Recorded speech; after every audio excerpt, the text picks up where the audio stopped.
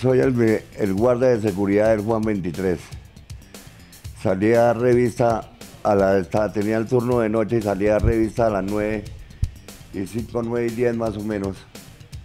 Cuando los perros empezaron a latir y me señalaron al lado donde estaba latiendo, me fui yo para ese lado y alumbré con la linterna así en el, en el corral ese, en el pasillo ese que queda allá hacia el fondo del lado del galpón. Cuando sonó el, el impacto que me hicieron, me dieron un tiro con un tiro de, escopeta.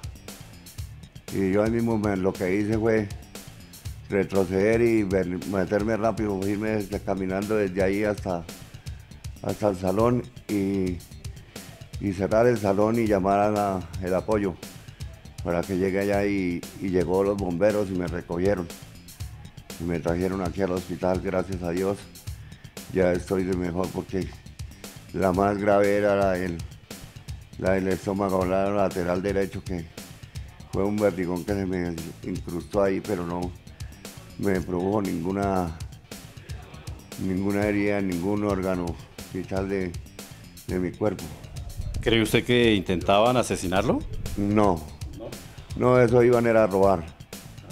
Eso se iban a ir a robar porque allá no, yo no tengo enemigos de nadie, con nadie tengo enemigos yo. Y, y eso era por ir a robar. Pero entonces como pasó lo que pasó y se dio cuenta que yo me, me cambié y rápido el apoyo, entonces lo que hicieron fue romper unos vidrios y se fueron. ¿No robaron nada? No robaron nada, no. Afortunadamente usted ya se está restableciendo, lo vemos que ya está... La cirugía en la mano que es la que estoy esperando que le la orden la ARP para que me hagan los procedimientos quirúrgicos y procedan a hacerme la cirugía en la mano porque parece, al decir del cirujano, que parece que dos dedos se pierden.